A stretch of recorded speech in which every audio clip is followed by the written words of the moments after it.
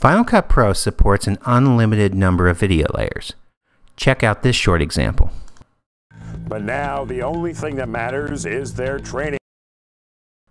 If you have a project that contains many layers of video, you may find it easier to use something called a compound clip to help manage your timeline.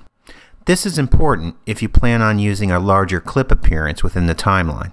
You could change the clip appearances by clicking on the Clip Appearance button in the lower right corner of the timeline window. In doing so, you can see how it's easy to run out of room within the timeline while trying to navigate within your project. So you can see right here, I've got three clips stacked on top of each other. You can collapse these clips into something called a compound clip, which will give you extra room to navigate. To do this, select a stack of clips within the timeline window. Then, right-click on them and choose New Compound Clip from the contextual menu. The selected clips will then collapse down into a single compound clip. The great thing about a compound clip is it can be moved around like any other clip. If you need to make changes, you can break apart a compound clip by right-clicking on it and choose Break Apart Clip Items.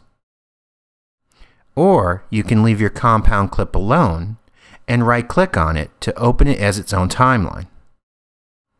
In doing so, Final Cut Pro 10 will focus specifically on your compound clip, which will make it easier to make changes to your project. For example, I'll click on the generator's browser button to find a new background clip. So now I can easily replace part of this background within the compound clip using this underwater background. When you are finished, navigate to the top of the timeline window and press the left arrow to go back to the original project. Okay, that's it. Check it out. Both are dedicated to serving the public. Now you've got the basics of working with a compound clip.